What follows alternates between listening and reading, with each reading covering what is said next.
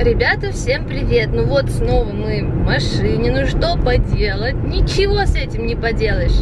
Вчерашний влог, мне кажется, это просто жесть вообще. Я его смотрела раз пять, наверное, при монтаже раза 3-4, после, ну, короче, пипец. На самом деле, я просто больше угорала вот с одного момента, где я там угораю над комментарием. Там был комментарий, типа... Кто-то написал комментарий, представляете? Ну давай. Короче, кто-то в комменты пишет, представляете, к вам, типа... Представляете, если к вам с улицы придет...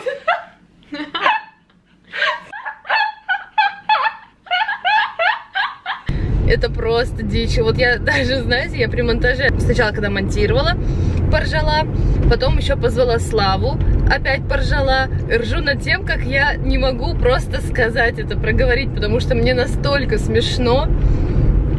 Ужас. Я еду в клинику, стоматологию, где я буду делать себе виниры. Сегодня там съемочный день. И вот врач э, моя, которая будет делать мне виниры, она очень классные видосики снимает в Инстаграм. Сейчас я еду в Макдональдс. Реально. Меня это бесит жутко. Почему нету каких-нибудь других э, кафешек быстрого питания, именно авто, знаете, чтобы можно было заехать, взять и поехать. Ну, я не знаю, но с другой стороны, я же не смогу жрать котлету с гречкой во время того, как я еду. Мне надо что-то такое, что можно одной рукой взять. Мне недавно прислали посылку вещей с интернет-магазина. Кстати, водолазка белая, которая на мне, она как раз из этого магазина, toptop.ru называется. Я уже вам показывала вещи из этого магазина, они мне безумно нравятся, потому что они очень качественные, хорошие, классные, по сезону самые то. И водолазки, это просто, я взяла себе три, по-моему, водолазки, но одна вот такая без горла, и две, получается, у меня черная с горлышком теплая, и бежевая тоже с э, этим горлышком. Так что вот, сегодня решила снова надеть белую водолазку, хочу на видео быть в белой водолазке, вчера просто тоже в ней была. Ну, что поделать, знаете, пофиг вообще, знаете, это же жизнь, это не то, что я как э, каждое видео должна быть в чем-то другом, нет. Но, кстати, я сверху надела жилетку черную кожаную, вы можете ее видеть. Я еще не знаю, может быть, я ее сниму, но, понятно, я буду без куртки. Вчера, кстати, я быстро смонтировала, даже, по-моему, часа не было, я уже закончила. Все потому, что я днем много сняла, мне хватило материала, чтобы получился аж влог на 55 минут. Поэтому это круто.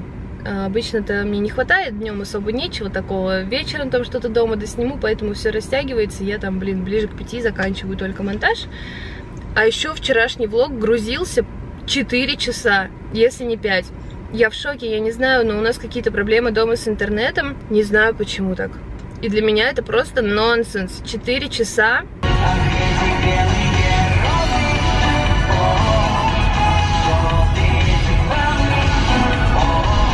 что ж, я уже доехала до стоматологии. Вот такой у меня лук. Тут очень крутая уборная. Я просто в шоке. Посмотрите на туалет.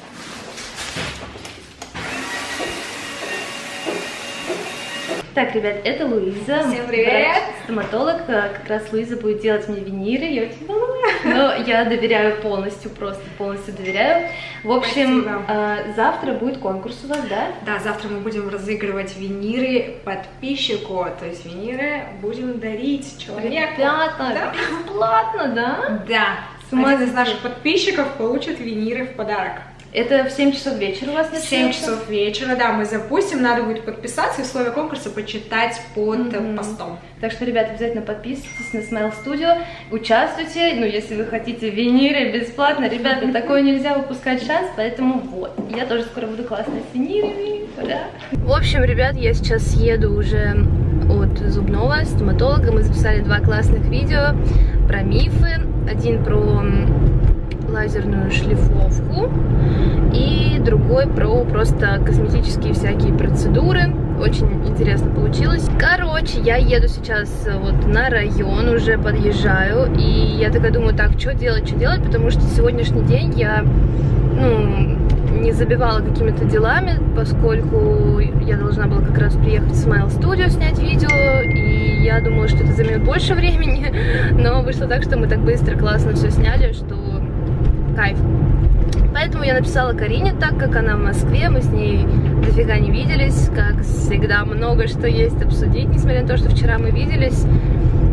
Вот, так что сейчас я к ней приеду, она там какую-то курицу запекает, не знаю, поем ее. Карина говорит, типа, блин, вот ты ко мне приедешь, мы с тобой будем болтать, получится как вчерашний влог. Ничего, типа, для подписчиков особо интересного такого не будет, грубо говоря, потому что один и тот же день практически повторяется, что я у Карины, мы болтаем. Но на самом деле, что поделать, если у меня такая жизнь? Эта же неделя влог встретиться с Кариной для меня очень интересно, тем более, что это реально моя обычная такая жизнь, повседневная, реальная, без всяких приукрас, типа поехать куда-то там, потому что вот мне туда сейчас надо, но на самом деле тупо для влога. Интересно, как там у Славика дела? Чего он делает? Это уже не смешно. Не, я просто застилаю, потому что я в одежде хочу прилечь. А, не потому что она была не собрана и тебя это бесило. А ну понятно. Ну ладно. Меня бесит, когда у меня грязно. Ну, когда у кого-то тоже хочется, чтобы чисто было. Но обычно я ни у кого не убираю дома, потому что я никому обычно-то не хожу, кроме тебя. Ну вот это приколы. Ну да. Я вам кладбище хочу показать, мои хорошие. На самом деле так красиво. Вот смотрите, как вверху. Сразу о жизни подумать. Да, я, кстати, знаешь, смотри, я что заметила. А, Мне кажется, что вся вот эта стенка это урны с прахом. покажи, покажи, покажи. Я не уверена, но ощущение, что реально. И я только спустя год заметила это. Ну-ка, смотри. Да, я поняла. А может нет? А, нет, наверное. Не знаю. А Ребят, что? как думаете? Предлагаю сходить. Я, кстати, там ни разу не была. И слава богу, тьфу как говорится. Ну да. Лютик! И себя тоже так надо. Лютик! На этот день. Вчера я была не накрашена, сейчас я накрашена. Что-нибудь изменилось? Да. Потому что ты не умеешь играть, ребят. Сейчас я отдалю, вам будет приятней. Тебе надо быть более активной. А, Да, да, да, вот. Ну стой, иди играй. Иди играй. Ты ЧБ. да. Убери эту помойку с моей кровати. Это игрушке 11 лет. Но иногда мама ее стирает. Мы тоже Вивиного фламинго стираем. Потому что она его зубами своими шмякает, потом она его на пол кидает, к этим слюням ее прилипает пыль, и фламинго из розового превращается в стерва. Класс. Да, Лютик. Да, Лютик. Надо было мне вилу взять. Да, Мы к зубному. Как зубы. Нормально. Классно. Камни мне сняли недавно. Налёт Что это? называли. У меня такие странные зубы, такая, там где ретейнеры, как будто бы, знаешь, как ножик наточили. М. Они не режутся, но они такие грубые какие-то стали. Они, видимо, камнями заросли. Привыкнешь. Ну да. Устала шепелявить, что-то не могу. А как думаешь, когда тебе поставят виниры? Врач сказала, что будет лучше. Да? Ну, у меня же как, я шепелявлю из-за неправильного прикуса, Так. наверное. Вот. Ну, она сказала, что когда мне поставят виниры, первое время я буду шепелявить тоже, еще сильнее, возможно, даже, потому что это идет привыкание, те люди, которые не шепелявят, а, когда ставят виниры, они начинают шепелявить. Я понял, ты что делаешь, как этот Слава. Меня бесите. Два близких, бесячих. А постоянно приближать. Говорю, нахрена ты приближаешь? Это ты не понимаешь. Это съемка профессиональная. Стоит 200 тысяч. У меня нет. У меня есть Лютик. Он стоит больше, чем 200 тысяч. Он стоит миллионы, милли- миллионы бесконечности миллиардов евро фунтов. Ой, извини, Лютик, не для тебя внимать, потом у Вивьены крышу снесет. Она не увидит. Да, конечно. Я когда монтирую, она сидит и смотрит, проверяет, контролирует. Говорит, так, мама, где ты была? Ну подожди, ну эти глазки ты не хочешь обнять?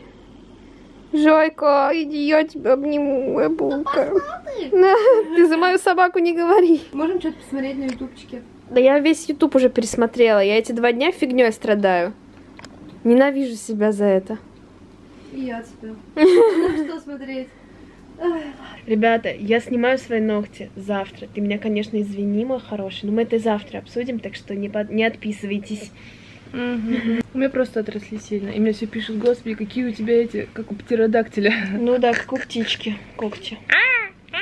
Пишите тайм-коды Да, кстати, я обожаю, когда вы пишете тайм-коды. Я сразу нажимаю и режу. Да. Смотрю. Вот если вы комментируете наши с Юлей видосы, не поленитесь написать тайм-код. Это, не знаю, ну, то есть, может быть, ва- вам, наверное, не сложно, а мне капец приятно, Юле тоже, потому что можно сразу вернуться в этот момент и еще раз посмеяться. Кто спрашивает, ты на iPhone снимаешь влоги? Если да, то какой у тебя iPhone? Нет. Снимание на iPhone на камеру. Canon G7X. Спасибо. Я вот, пожалуйста, так, знаете, легко играющий нашла Смотрим параграф. Пишите в комментариях, а стоило ли оно того. Ты лежишь на кровати. Все и тревоги остались позади. Тебе удобно. Ты лежишь на спине, и руки вытянуты вдоль тела. Давай засыпать. Перед твоими глазами темный экран. На нем нет никаких дел, задач, мыслей. Глубоко. Только темный экран. Лоб все еще расслаблен, затылок расслаблен. Щеки, шея, плечи. Перед глазами темный И все внимание только Давайте такое же сделаем, продадим за миллион рублей. 11 минут. Я купила за 450 рублей 11 минут томных голосовых испражнений о черных экранах и расслаблении конечностей. Если у вас 500 бессонница, рублей. не надо к врачу. Женя Короче, предлагаю поднять бабла, братишка. Замутить свой гайд, или как это у них называется. Да, Нам нужно с тобой кавказским голосом записать там, ну, типа... Как говорить кавказским типа, голосом? Не-не, можно типа... Эй, просыпайся, вставай. Да, и продавать за сколько? За 25 тысяч рублей. Не, можно за сотку продавать. А что? По-божески. Ну, не, ну это жесть. Это жесть. Мне кажется, одно дело купить какие-то пресеты в Lightroom, просто потому что ты хочешь красивые фотографии, это нормально. Даже если это стоит дороже. Но это будет реально как бы полезно, мне кажется. Да, тоже от блогеров. Да. Ну, покупать какие-то вот такие приколы. Это же все можно найти в интернете. Это те же с косме- косметологами, то, что это можно поговорить с косметологами. Куча сайтов, куча информации, бесплатных видео на ютубе, где Мы с тобой Реально? сколько делаем бесплатно. да вообще, а сколько врачей там тех же самых ведут каналы. Мгм. Тоже я очень много там, когда меня какая-то интересует вопрос, там, да то же самое, собаку, э, операцию сделать собаке. Я просто в интернете читаю очень много информации об этом от разных врачей, разные видео смотрю, кто как, опыт. Понимаешь, такое. людям лень просто гуглить информацию, они любят этого блогера, вместо того, чтобы там читать книгу «Магия утра», они покупают гайд рандомного блогера, который пишет, э, типа, краткую выжимку пяти книг, которые он прочитал, М. и типа они такие класс. В принципе, может быть, это кого-то мотивирует, и они знают, что они покупают продукт, который уже где-то есть в интернете, но они хотят вот именно от этого блогера какую-то мотивирующую штуку. Но, по-моему, все равно круче гораздо, когда, ну, типа, не знаю, ты бесплатно. Ну продавать это? Ну, это ну, жестко. серьезно, ну, если это бы это было бесплатно, я бы еще поняла. Слушай, ну они просто умные люди. Они, э, мы, мы сейчас их обсуждаем, как бы, да, и говорим, что они странно поступают, но они там зарабатывают себе в месяц миллион рублей на этом. Я и ничего кайфуют. плохого не говорю, да, это гениально. Я говорю, давай запишем. Давай продавать. Давайте продавать. Ну нет, э, я считаю, что если э, хочется что-то создать, можно сделать крутой мерч. Можно Да. сделать, если ты умеешь реально делать какой-то крутой инфопродукт, очень сейчас круто заходят, типа, когда ты учишь, ну, худеть, у тебя программы по питанию. Вот э, про обработку тоже. Тоже YouTube, Instagram есть, зачем вот эти вот... э, ну, Чтобы хотя- бабки делать. Хотя да. Но знаешь, я типа тоже не один раз думала, ой, а, а может если что-то такое замутить, а что бы я рассказала? Я просто понимаю, что я не специалист в какой-то определенной области, чтобы писать об этом какую-то там э, статью, которую продавать, э, прикреплять какие-то факты, еще что-то.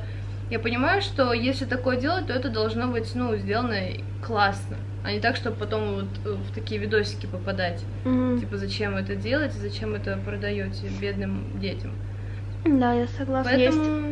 Проще, чтобы вот так вот не было, мне кажется, просто делиться опытом э, бесплатно на тех же там видео, YouTube, Instagram. Либо не за деньги, ну как-то это глупо, что ли, за деньги делиться такой фигней. Бабки, бабки, бабки. Ну, в, в принципе, ну не знаю.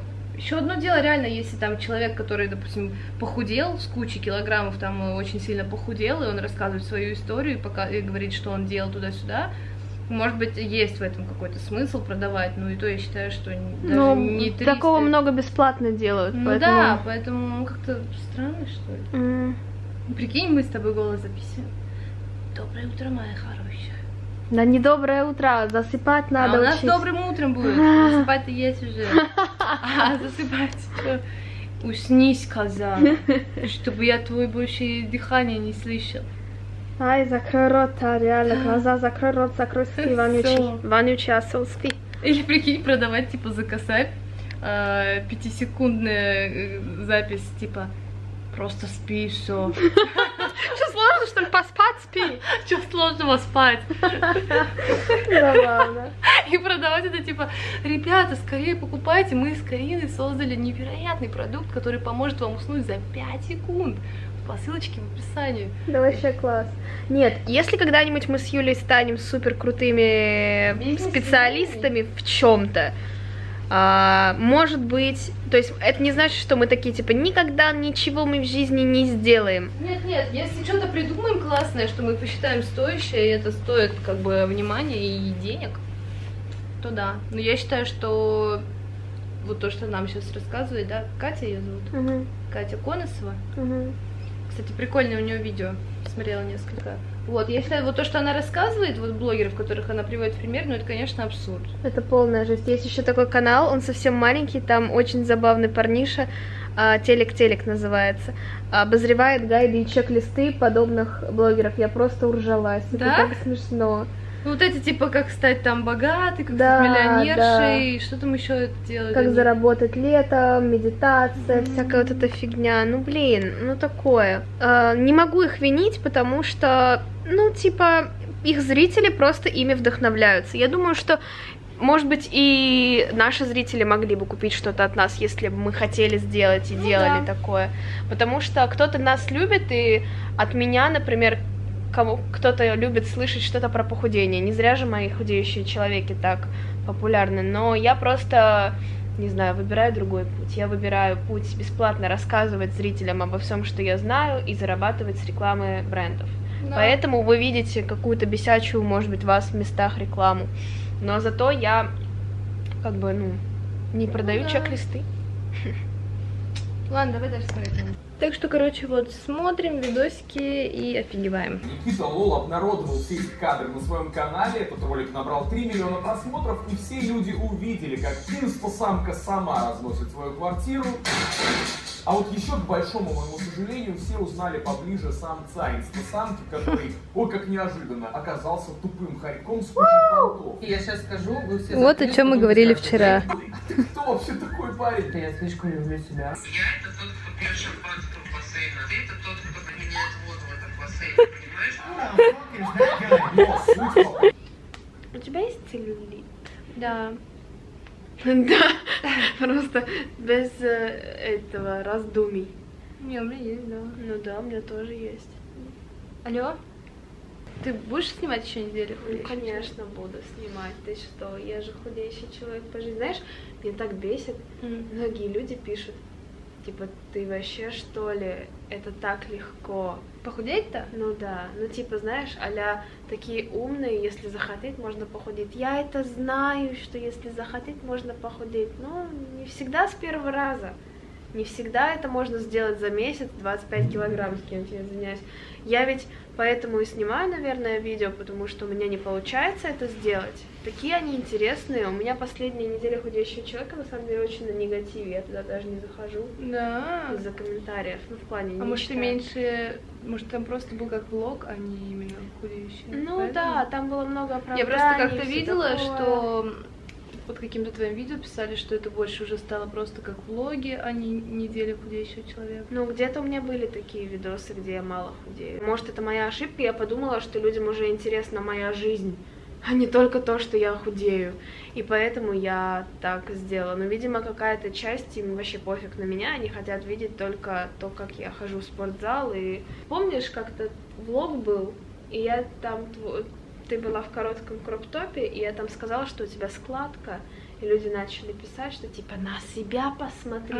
Ребята, я ей это указала. Я тоже чтобы- отвечала на это, что типа у нас это нормально, типа, ну, это то же самое, что если у тебя волосы плохо лежат, я тебе скажу, там, ой, у тебя волосы сейчас плохо лежат на видео, чтобы ты их поправила. Не, для, не чтобы как-то ее пристыдить, я ей лично говорю, публично говорю, что она худышка, крутышка и так далее. просто, Ну, типа, я могла это не вставлять вообще, ну, как бы, то, что ты мне говоришь, что у тебя складка, но так как мне вообще пофиг, типа, на то, что там складка, поэтому я оставила. Откуда я знаю, ей пофиг или не пофиг на эту складку? Если бы у меня была складка, я бы хотела, чтобы она мне об этом сказала. Нет, просто раньше мне было больше не пофиг. То есть раньше я больше переживала, ой, давай вот это вырежем, то есть мне приходилось, потому что я там не нравилась себе много вырезать, а сейчас просто мне пофиг, потому что даже если у меня какие-то складки есть, как я и говорю, у меня есть целлюлит, типа я, ну как бы это нормально, ты можешь быть худым, но у тебя все равно могут быть в каких-то местах целлюлит, у меня, например, вот где ноги, может тоже. быть, немножко вот Да мне кажется, он есть у многих, у всех. да, это на самом деле не то, что какой-то ужас, фу, там ты жирный, это не эта история, это,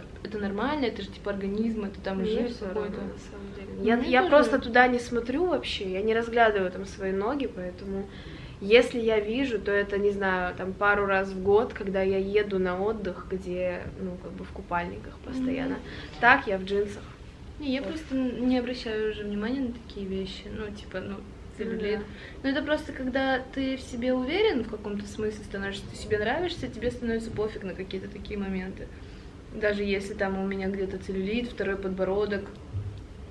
По поводу прыщей я, конечно, все равно, ну, типа, переживаю, всегда ком- комплексую, можно так сказать. Ну, я не хочу просто, чтобы все видели, что у меня прыщи. Понятно, все и так знают. Причем сама всем рассказываешь, Ну но да, не да, хочешь, да. чтоб видели. Нет, просто имеется в виду, что мне не нравится, как выглядит на лице красные большие Ну да, какие-то конечно. прыщи, еще что-то. Это же просто, ну, как бы визуально мне не нравится. Но я понимаю, что это не что-то кошмар и вообще ужас, это просто проблема, которую нужно решать. Это здоровье и все такое. Но при этом не хочется как бы светить в кадре прыщами, понятное Ну дело. да, но я иногда тычу, тычу прыщи в кадр. Не, я же тоже могу, типа, влог э, снимать и не накрашенный быть с прыщами, говорить, вот замазываю свои болячки. Ну, как да. бы это, это же Все просто люди. нормально, да, мы Все все люди. люди, у всех у нас там ну, есть целлюлит, прыщи, поэтому нормально, просто не надо на этом так зацикливать внимание, потому что это мелочи в жизни, я считаю. Кстати, сначала у меня такое было отношение к твоим неделям худеющего человека, а, типа, блин, что за тупость, меня это вообще не мотивирует.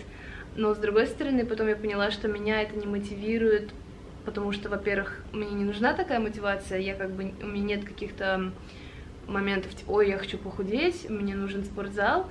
Потом я думала, как ты можешь э, снимать такие видео, типа, как ты можешь мотивировать людей, если ты сама не сильно, например, меняешься. Но Я потом... поменялась с 56, 56 до 52. Ну, это нормально, типа. Нет, это нормально, я имею в виду, но все равно как бы сильных вот таких изменений прямо на лицо, чтобы увидеть до и после, ну как бы у меня что не я было. не тычу свое тело полуголое Это да. в экраны, а так результат был. Просто я потом опять поправилась. Ну вот, а потом я поняла, что на самом деле суть мотивации твоих видео, она заключается даже не в том, чтобы ты похудела, а в том, что ты показываешь людям, что ты прилагаешь усилия, ходишь в зал, сидишь на правильном питании. Я думаю, что это хорошо. Ну, типа, блин, дело даже не в том, что ты должна похудеть, а том, что ты показываешь людям на своем примере, что ты занимаешься, что ты тратишь на это время, что ты... Конечно. И это вдохновляет людей, типа, блин, она ходит в зал, я тоже буду ходить в зал. Так и есть. И люди ходят. И ты, ты знаешь, я недавно была на концерте Билли Айлиш, там встретилась со своей подписчицей, мы рядом стояли там. И она говорит, знаешь, благодаря тебе я похудела на 12 килограмм. Я говорю, ты шутишь? Она говорит, нет. Нифига. И, ну, мне многие так пишут. То есть, возможно, даже я не худею, но люди худеют. И я тоже смотрю видосы, в которых кто-то проводит активно свои дни, типа встает там в 6, идет на спорт, идет еще куда-то. И мне просто нравится смотреть, что человек делает много вещей, и я понимаю, что я тоже должна и хочу делать так же. Так, Хочу Ну да. много-много всего успевать. а, Хочу создавать какие-то проекты, шоу и так далее. И это меня мотивирует. И поэтому я решила тоже создавать что-то, что людей может мотивировать. Иногда, конечно, не всегда справляюсь со своей поставленной задачей, даже есть, но что поделать? Я так всю жизнь живу. Ну, то есть, даже до блогерства я же была, помнишь, какая помешанная на этом всем. Хотя, мне кажется, я...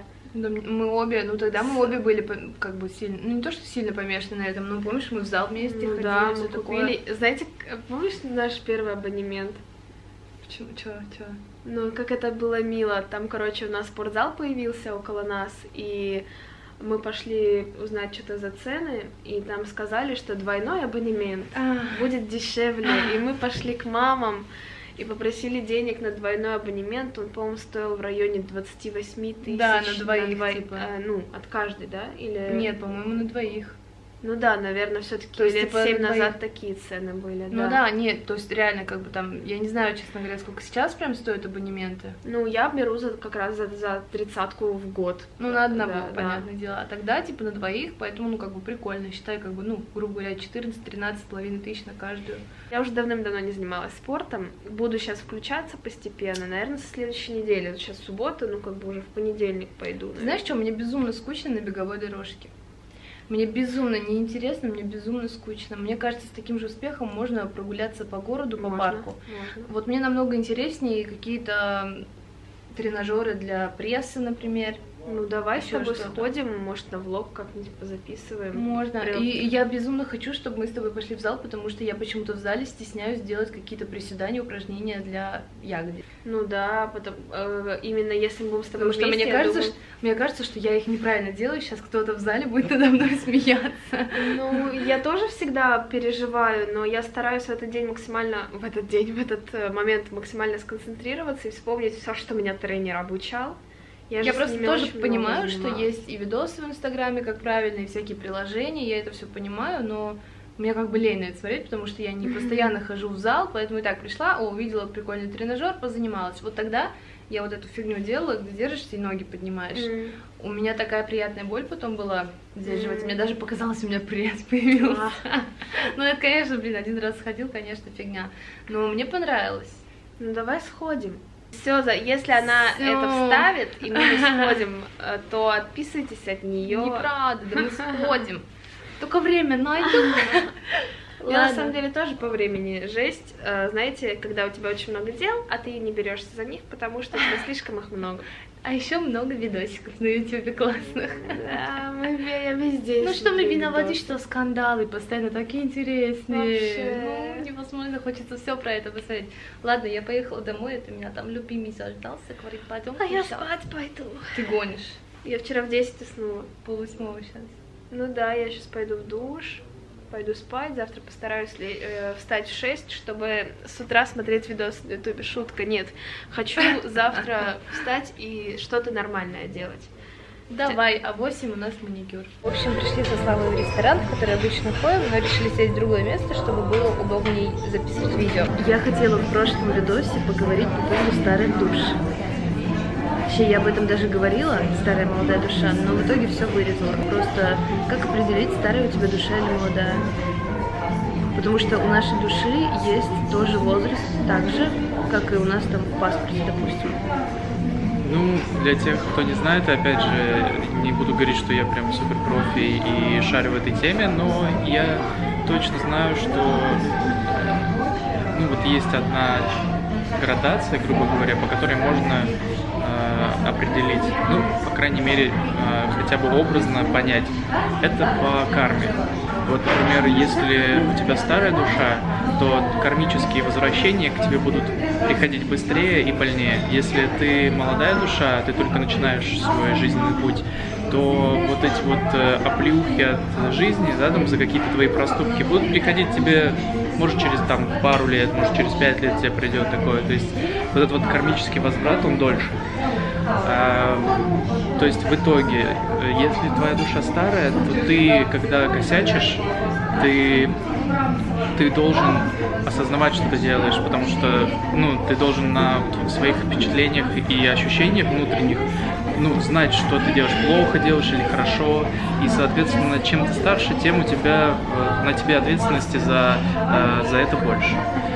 Если ты молодой, то ты еще зеленый глупый, и, в принципе, ты можешь э, что-то сделать и и не понимать, что ты делаешь что-то плохо. И в интернете я как-то прочитала, типа, ну, как еще определить, старая душа или молодая. Просто я почему-то была уверена, что это можно определить по натальной карте.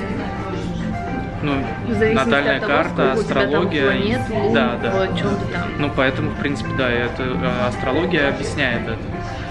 Да, но также я нашла в интернете, ну, краткое такое описание, типа, что лю- любому будет понятно, что молодая душа — это когда вы наивны, когда вы, э, грубо говоря, радуетесь э, каждому лучику, солнышку. Вообще, в принципе, удивительно, потому что я почему-то считаю себя старой душой, но при этом я очень радуюсь каждому лучику, солнышку.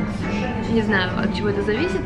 И Ну, от характера еще. Ну, наверное, Все да, же люди разные, у всех разные, э, разные планеты, которые добавляют в твой характер, э, ну, вот, немножко того, чего не будет, например, у, друг- у другой девочки какой-нибудь тоже козерога, тоже там родившейся в том же году, но Ну да. у нее, например, там эмоции там, в другой планете. Э, опять же, я не астролог, но я приблизительно просто э, так вот знаю, как ну, базовые какие-то вещи. Вот. Поэтому Вот, а про старую душу было написано, что это те люди, которые, грубо говоря, захотели тульский пряник и могут взять себе и купить э, билет до Тулы, но разум им говорит, типа, ну ты что, реально, гони, типа, давай не поедем в Тулу за пряником. Ну, типа, якобы, знаешь, есть же спонтанные люди, которые думают, ой, хочу это, или типа, а прыгну я сейчас вот с парашютом, например, и вот сразу же это делают, допустим, а другие люди как-то по-другому относятся к таким вещам, думают, нет, ну а зачем, оно в принципе не нужно, ну да, это весело, ну что, просто позабавиться, ну ладно, есть другие дела в жизни. Ну как бы вот такие рассудительные, Да, рассудительные. очень так думают, а надо оно мне вообще, Ну, ну, это да, я хочу сейчас пряник, но в принципе мне без пряника нормально. Но это тоже, мне кажется, со- совпадение каких-то разных планет. То есть э, это не как там э, возрасту, с возрастом души может и не, от- не откликаться, по сути. Ну, может быть, ну это просто в интернете то, что было написано такое краткое, что примерно. Во что верить, во что не верить, как э, все говорят, умные и знающие люди, если вам дают информацию, то пользуйтесь ей. Можете ее э, не принимать, но хотя бы просто ну, выслушайте. Вот иногда открываются каналы, которые вот тебе что-то говорят, а ты даже не знаешь, что тебе что-то сейчас говорят. Ну, например, ты такой идешь по улице, идешь, идешь, идешь, хоп, там кирпич перед тобой упал, например, перед тобой прям. И это информация тоже, которую тебе нужно принять. Может, ты что-то не так делаешь. Короче, в интернете даже есть тест на то, как, э, насколько старая у вас душа. Я сейчас хочу его пройти ради интереса. Запиши экран на телефон. Что я здесь вижу? Кошку, комнатное растение, ад, что-то другое. Я не вижу здесь комнатное растение, ни кошку, не вижу ада здесь. Поцелуй, ангелы черный, континент. Я континенты. Ну, наверное, но я не, не уверена. Людей, растения, Я вижу, знаешь, два Я, ви- я вижу, ядерных я взрыва. вижу людей. Я вижу два ядерных взрыва. Мне кажется, что человек видит что-то в глаза, нос, типа рот. Нет. Я нажму людей. Так, джин, ведьма, гора, что-то другое. Ведьмы точно нет. Блин, мне все континенты видятся, это нормально? Нужно какие-то, блин, непонятные вообще штуки.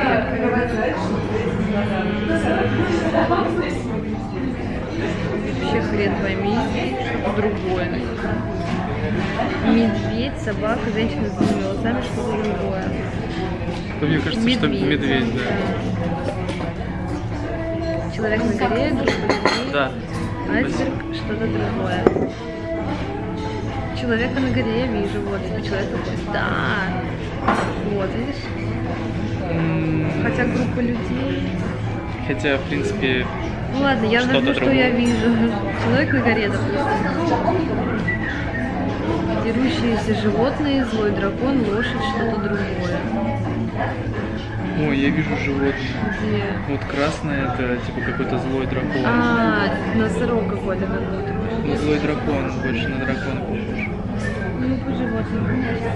Мне уже интересно узнать, старая у меня душа или нет. Мне кажется, это все Да, фигня. это, конечно, фигня. Что я здесь вижу? Животных в озере, людей в ловушке, что другое Бэтмена. Бэтмен. Что? Вот, наверное, Бэтмен будет в серединке. Сейчас мы узнаем, да вы лох. У вас совершенно детская душа. У меня душевый ребенок. Вы открыты для мира и фантазируете идеями. Ну, мне еще, знаешь, что кто-то говорил? Что те, кто рождаются в конце года, у них молодая душа. Те, кто рождаются в начале года, у них типа старая Не знаю. Я думаю, что это тебе нужно спросить у реального астролога, и если ты захочешь, я тебя познакомлю, когда она приедет в Москву, и вы с ней что-нибудь Если снимете. говорить про карму, я на сто процентов уверена, что у меня глубоко старая душа. Потому что когда что-то там я, например, делаю не так, ко мне это очень быстро возвращается. Даже если это какая-то мелочь, я прям чувствую сразу. Аналогично. У меня тоже такая фигня. Ну, у меня сто процентов старая душа, я как бы все это проверял. Вот. И думаю, что у тебя тоже, потому что раз у нас с тобой в прошлой жизни были завязочки, завязочки, Это сто процентов, я уверена. то А еще, знаете, типа люди, которые со старой душой, они такие думают о космосе, о Вселенной, о том, о небытии, знаете, каком-то. Мне кажется, это тоже к этому относится, потому что люди с молодой душой, будем так их называть, им пофиг вообще на эти все размышления, они живут здесь и сейчас, все круто, нафиг этой фигней заморачиваться, мозг себе забивать, все это неинтересно. А мы типа рассуждаем и думаем, блин, а вот звезды, а вот это вот. Вот, потому что у Славы, короче, выходил влог, он же ездил недавно в такую, в такое путешествие интересное. в Дивеево. Кто не в курсе. Постоянно забываю, куда он ездил. В Дивеево, и там, в общем, храмы. Интересно, короче. Святые места, короче. Посмотрите Славин влог, и там ему сказали, он мне потом, когда приехал, рассказал, ему там сказали, что мы с ним в прошлых жизнях типа были связаны. И как бы, конечно, непонятно, как мы были связаны. Может быть, мы ненавидели друг друга, или, может быть, мы очень сильно любили друг друга, может, мы вообще были братом и сестрой. Но я надеюсь, что нет. Все равно как-то не очень от этой мысли, хоть бы и в другой жизни. Вот. Но интересно, на самом деле, мне безумно всегда было интересно узнать, кем я была в прошлой жизни, потому что я верю в реинкарнацию. Я Славе говорю, прикинь, типа ты был герцогом, а не герцогиней. Он говорит, потому что это вообще еще более давно было. Я говорю, ты был динозавром, а я динозаврихой твоей. Да. А я был этим аборигеном, который динозавров зашибал. Ты меня зашибил, зашиб Может, я тебя, я тебя увидел и влюбился. динозавра. И у нас получилось очень необычная семья. Ну да, потом динозавры вымерли. Потому что один человек, абориген, замутил динозавром, другие аборигены его не помнили и убили всех динозавров. Вот как было. И меня динозаврика твоего. Так что, скорее всего, так и было. Вот. Мы ждем еду, как обычно, это шашлык у меня, у Да, у меня уже запуталась в своих этих мыслях. То ты любишь одно, то другое не любишь. Эне. Пене. Мгм. Когда мы придем домой, я должна вам показать вещи, которые мне прислали из шаурма. Кстати, вот эту водолазку тоже оттуда. Если я это забуду сделать сегодня, то сделаю это завтра.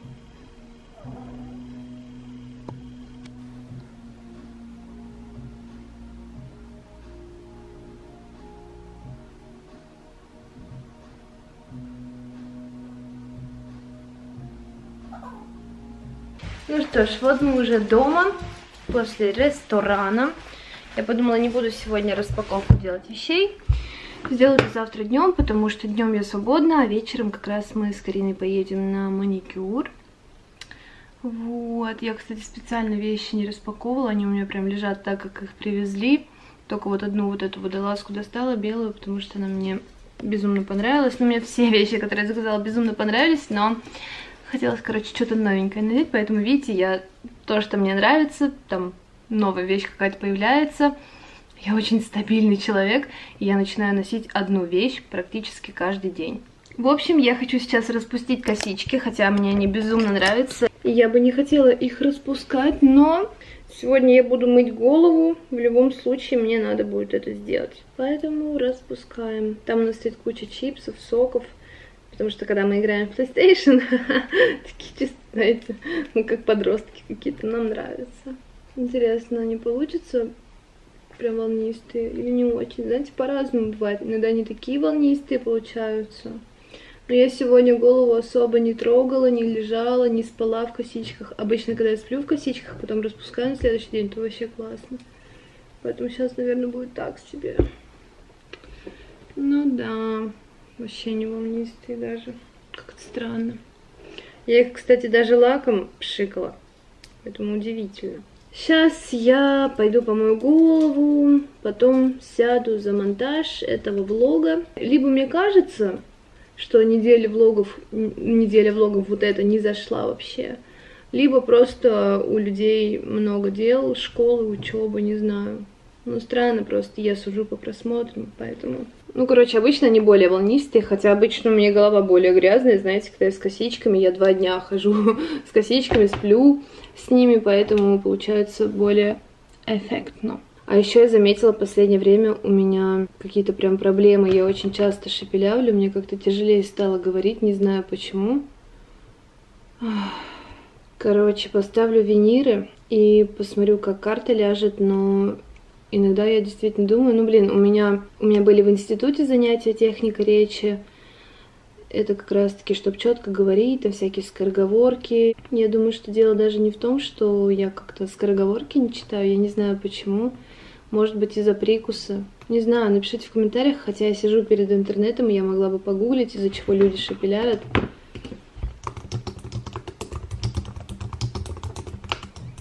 Ну, типа, знаете, мы все не идеальные, я помню, как мне раньше очень много людей писали в комментариях, то, что ты шепелявишь и все такое.